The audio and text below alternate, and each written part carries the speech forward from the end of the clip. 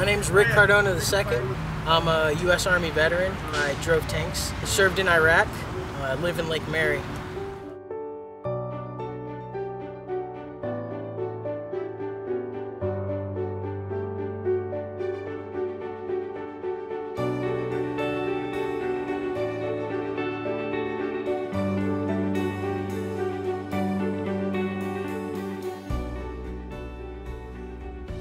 I'm a student at Florida Technical College, currently in the criminal justice program.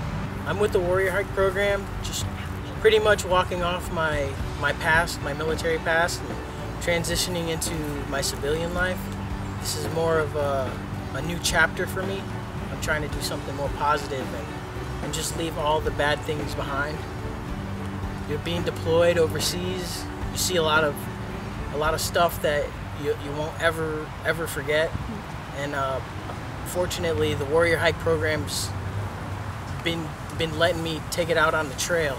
I'm doing it for my brothers and sisters with PTSD, uh, the ones that can't walk, the ones that won't walk. Uh, I'm taking it the burden on my shoulders, and I'm I'm walking this walk for them. 2013, I was diagnosed with PTSD uh, through the VA, and uh, I've been dealing with it, you know, ever since then. It's pretty much since I got out of the military.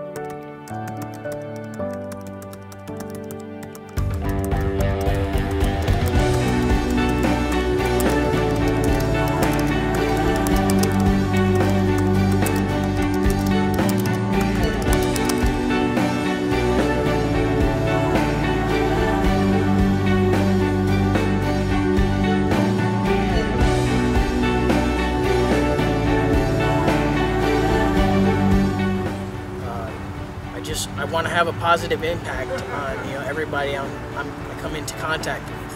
I want other veterans to know that there's more out there, and uh, I want to make my proud my school proud.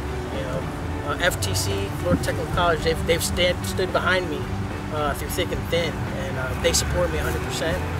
So I, I appreciate you know that.